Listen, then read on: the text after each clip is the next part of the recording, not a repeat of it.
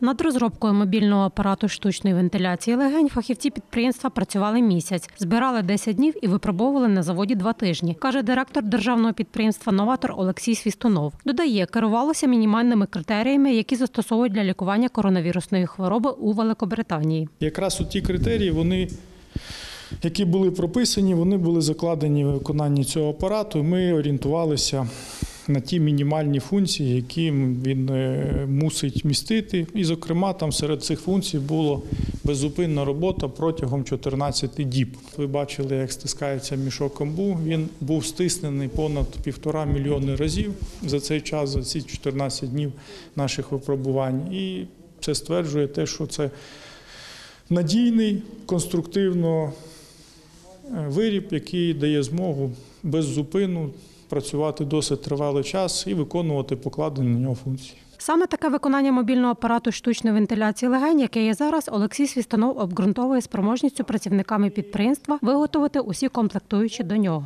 Варто зауважити, що цей апарат він має е, функціонал достатньо мінімальний для е, забезпечення тих функцій медичних, які на нього покладені. Тому не зовсім коректно його дорі- рівняти до апаратів приліжкових апаратів штучної вентиляції легень, які мають надзвичайно потужний функціонал. Міністерство охорони здоров'я дозволило використання апарату в лікувальних закладах. Вартість одного пристрою становитиме 20 тисяч гривень, каже Олексій Свістунов. Додає, передусім розглядають можливість обладнати ними карети швидкої. Не всі машини швидкої допомоги обладнані апаратами штучної вентиляції легень, і тому якраз автоматизація цього процесу і до обладнання машин швидкої допомоги воно стане в нагоді. Ми розглядаємо можливість обладнання е, сільських амбулаторій. Сільські амбулаторії вони не обладнані, і це є чудова змога бути обладнаним таким приладом за досить помірковані кошти.